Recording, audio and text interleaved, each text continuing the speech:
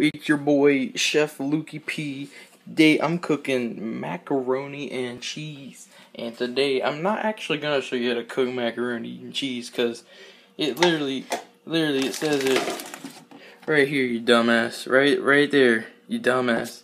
So instead, I'm gonna be getting some Kool-Aid. So um, I'm gonna set set that right, right there, plebeian.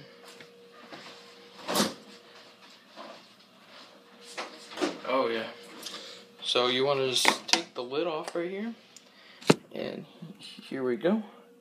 You just want to. Mmm. That looks tasty. Hang on.